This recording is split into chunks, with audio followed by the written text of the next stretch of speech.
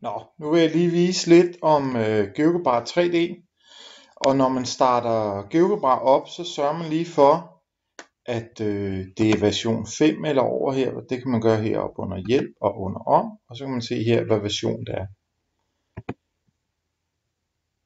Øh, når den starter op, så får man jo det her perspektivvindue, og det kan man, man kan aktivere det ved at klikke herude, og så kan man bare vælge den, der hedder 3D-grafik så får man kun 3D-vinduet og det her algebra-vindue.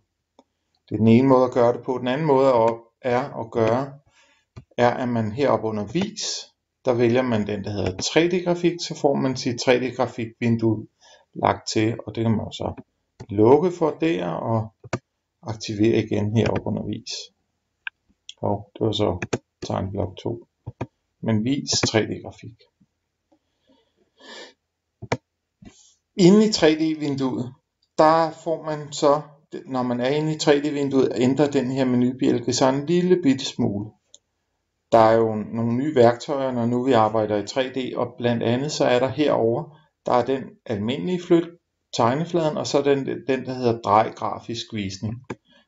Den der hedder drej grafisk visning, den vil så dreje rundt på vinduet i alle tre akser, når nu man holder musen nede eller fingeren inde, hvis det er i appen, og så drejer rundt. Den, der hedder flyt tegnefladen, der flytter man kun på, i et plan. Hvis man så klikker en gang, så flytter man i det plan. I kan næsten se, når man klikker en gang, så ændrer den her pil sig i hvad for en retning man nu flytter. Et fif det er, øh, at man, hvis man bruger mus, så når man højreklikker, så kan man øh, flytte rundt, så kan man dreje det samme, dreje vinduet. Det kan være meget rart, mens man er i gang med at lave noget.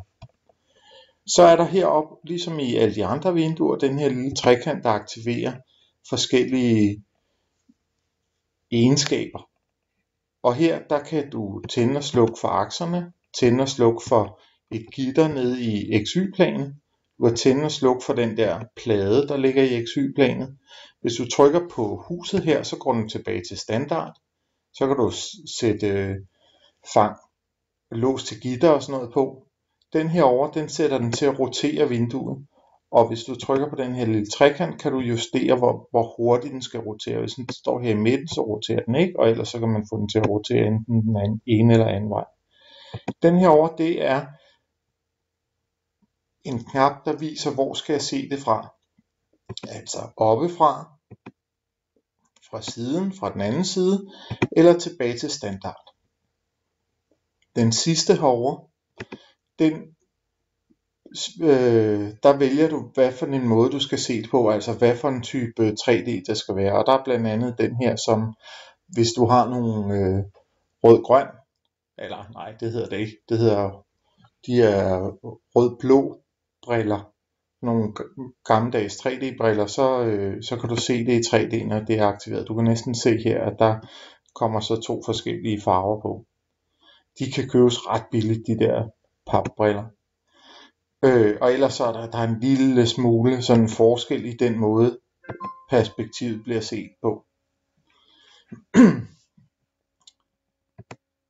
så kan den her over glemte jeg vist lige at, at, at vise, der kan du slukke for den der kasse, der er udenom 3D'en. Du kan også, du kan også vælge, hvad for en størrelse af, af, af selve det, det udsnit af, af rummet, man vil se. Og ellers så er det altså bare at gå i gang med at, at sætte punkter og prøve at lave nogle forskellige objekter. Prøv lige at sætte et punkt herinde, fordi i det jeg sætter et punkt, så sætter den det faktisk her i XY-planet, og hvis jeg så, og hvis jeg så øh, klikker på den, så kan jeg flytte den op ned. Hvis jeg klikker endnu en gang på den, så kan jeg flytte den rundt i XY-planet. Så det, man skal lige huske det der med, at man klikker flere gange, så ændrer man i hvad for en retning det er.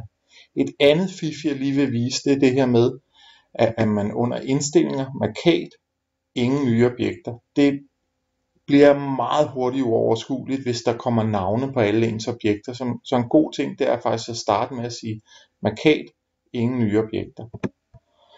Og så er det ellers bare at gå i gang med at prøve at, at bruge de her værktøjer til at, og, øh, og lave nogle, nogle forskellige 3D-objekter, prøve at, at flytte rundt på dem og, og lege med, hvordan er, det er, man arbejder her i, i, øh, i GeoGebra 3D.